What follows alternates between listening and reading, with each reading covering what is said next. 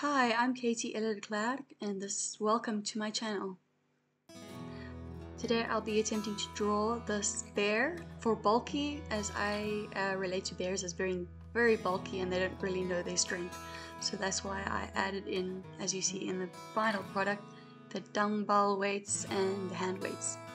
I'll be using this Everflow pen and later a whole bunch of pine needles to create textures. The Everflow pen is filled with ink and water so that it comes out grey instead of black, flat black. And you can see with the, water that I've managed to add that it disperses and it creates all these lovely little textures. I just add in the facial features of the bear and now I work into the pine needles that I just said.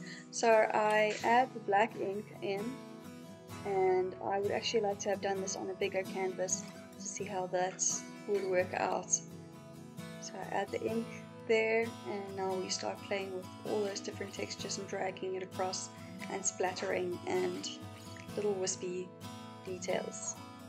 Because it is not fully dry, the tends to run quite a bit and I still blot out with a cloth or tissue just to make it a little bit less grey and to capture the details faster than what they can disperse into the water.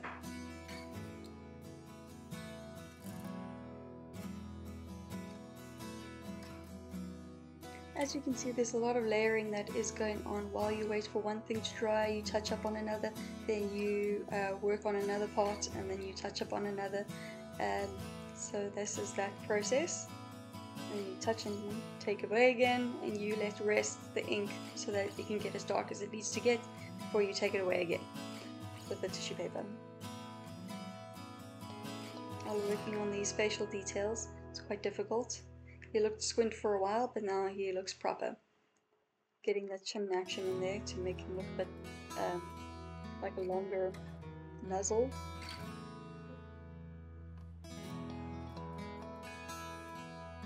Moving on to um, the next part of the painting with the dumbbell and the, the paw holding it up.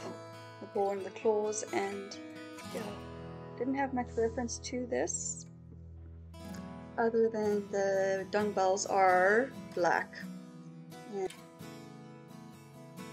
now moving into the hand weights where I use a pen which actually um, uh, has rough edges to it. So adding in on the right hand side there again.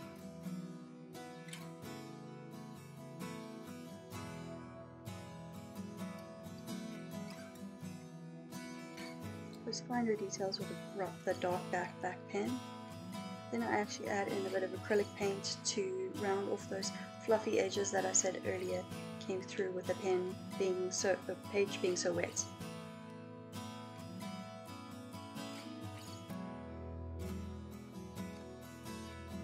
These claws are actually, yeah, they dry off and then I actually work on making them a fewer claws on the left hand side. You can see that there's far too many there pine needles doing what pine needles do and pushing into those darker details. Then finally working into the white with the Milky pen.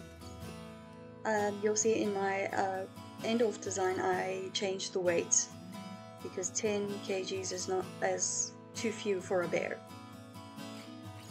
Then painting in those nails with the Tipp-Ex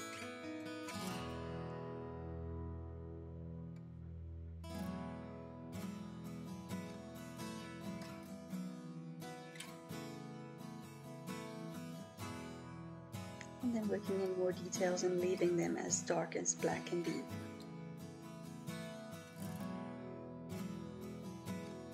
Now coming back to the end of the sketch with the, the final details of the fur.